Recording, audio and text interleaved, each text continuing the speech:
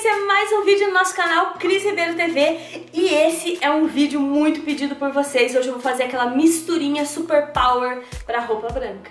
Antes de eu dar a dica, se você não é inscrito no canal, se o botão aqui embaixo tá vermelho, clica aqui. Primeiramente, seja muito bem-vindo nesse canal. Já dá o joinha da confiança que você sabe que vai ter, ó, uma dica maravilhosa. E também clica na sineta pra você ser a primeira a ser notificada toda terça e toda sexta às 11 horas da manhã e o telefone toca. Enquanto o vídeo sobe, você, ó, já vai saber de todas as dicas.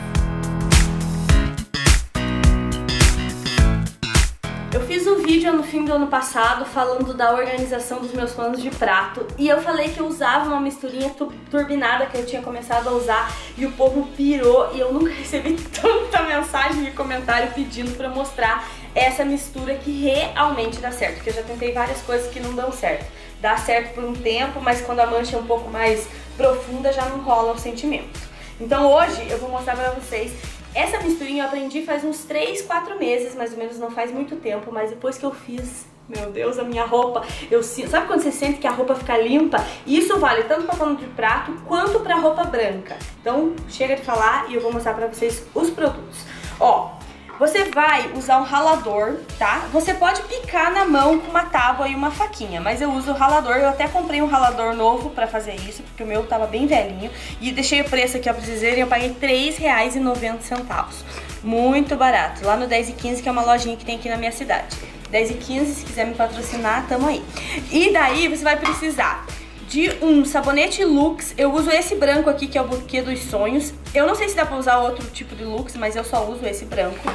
Um sabão em barra de coco, sabão de coco, e um Vanish branco em barra também. E a gente vai ralar tudo isso aqui nessa mistura, tá? Então, como é que a gente vai fazer? Não tem uma ordem, gente, é só ralar.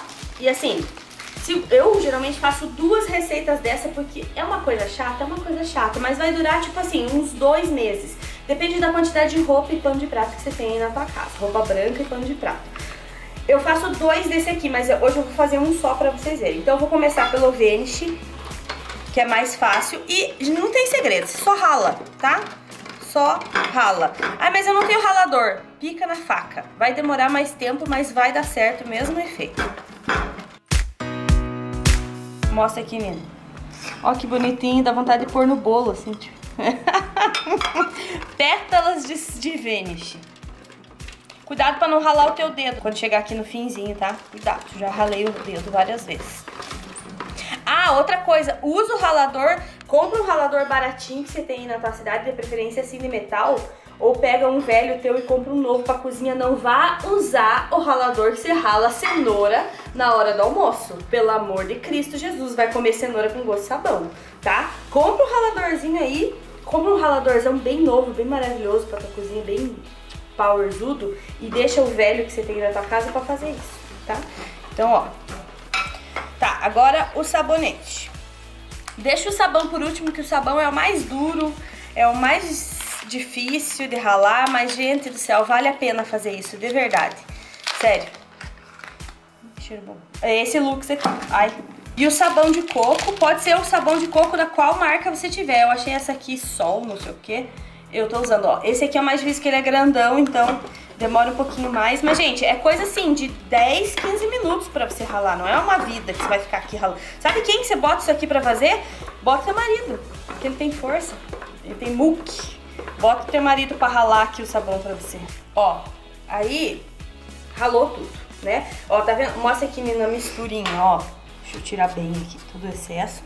E aí você dá uma misturada assim com a mão, tá? Só pra ele é, misturar os três produtos juntos. Por quê, gente? Deixa eu mostrar aqui pra vocês. Ó, vai colocar num pote. Eu achei esse pote aqui que tem uma tampinha, um potinho transparente. Você pode pôr numa num, num potinho de sorvete, você pode colocar naqueles potinhos de sabão em pó mesmo, sabe? Qualquer pote, gente, na verdade. De verdade mesmo, pode até pôr num pacote. E você vai deixar do lado da, do, da tua lavanderia, lá do lado da tua máquina, aonde você lava a roupa. E aí, como eu sou uma pessoa, ó, vai ficar assim, tá vendo? Olha. Por isso que eu faço duas medidas, porque daí dá bem certinho um potão desse cheio. Só que aqui eu vou fazer uma medida só hoje aqui, ó. Que bonitinho. Parece bala, parece bala de coco, só que não. Esse pano aqui, ó, isso aqui é legal. Tá vendo esse paninho aqui de pia? Olha a cor que ele tá, ele tá cinza. E eu comprei esse, esse paninho faz tempo, então eu não sabia fazer essa misturinha. E o pano chegou nesta ó, nesse estado aqui, ó. Para os teus panos não chegarem nesse estado, você começa a usar essa mistura. E essa misturinha aqui não é de levar na máquina de lavar, é para aqueles panos de prata assim, que você vai pôr um por um e vai usar. Com a misturinha pronta, eu tenho duas dicas. A primeira dica é para você desencardir aqueles panos que estão bem sujos aí, aqueles panos de prato teu que já já estão velhinho, mas você não quer jogar fora. Tem uma técnica para desencardir que é essa aqui. Eu vou usar esse restinho que tá aqui, que sobrou na minha, né, na minha, no meu pote que eu ralei e aqui no ralador. E eu vou vir com água quente, tá?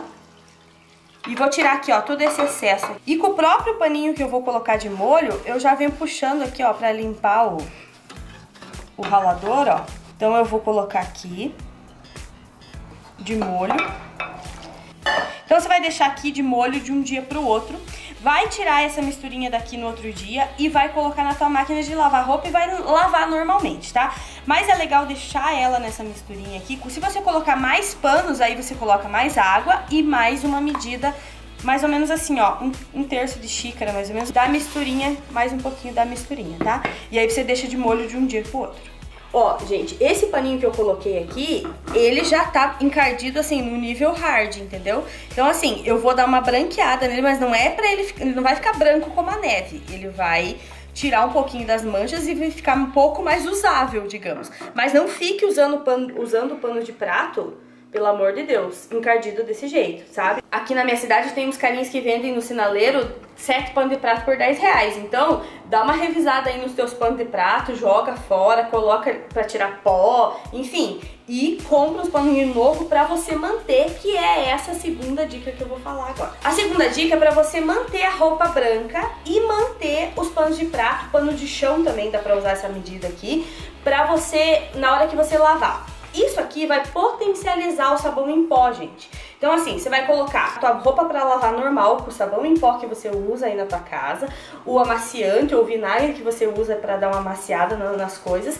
e no dispenser do sabão em pó você vai colocar uma medida desse desse, desse produtinho. Então você vai pegar a medida e vai colocar junto. Isso vai potencializar o sabão em pó e vai deixar a tua roupa branquinha no nível branquinho, tá? Vai manter esse branco do dia que você comprou. O pano de prato tem uma vida útil dele. Você não vai querer usar um pano de prato 10 anos da tua vida, né? Pelo amor de Deus, vamos botar na consciência.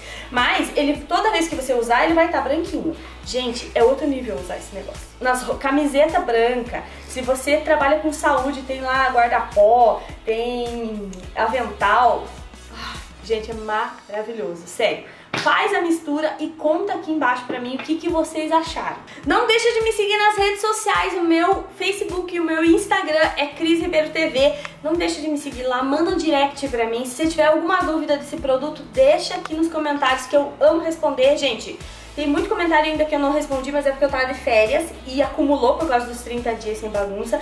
Então eu não consegui responder todo mundo, mas aos pouquinhos eu estou respondendo, beleza? Mas deixa aqui teu comentário pra eu ler, tá? E não deixa de fazer a mistura e conta pra mim, conta pra mim lá nas redes sociais o que, que vocês estão achando, tá bom? Ó, não deixa de se inscrever no canal, a minha cara tá aqui, clica aqui na minha cara e clica aqui na playlist, que tem uma playlist de limpeza, ó, show de bola pra você assistir várias dicas para você botar ordem e limpeza nessa tua casa em 2018. Beijo, fica com Deus, tchau, tchau.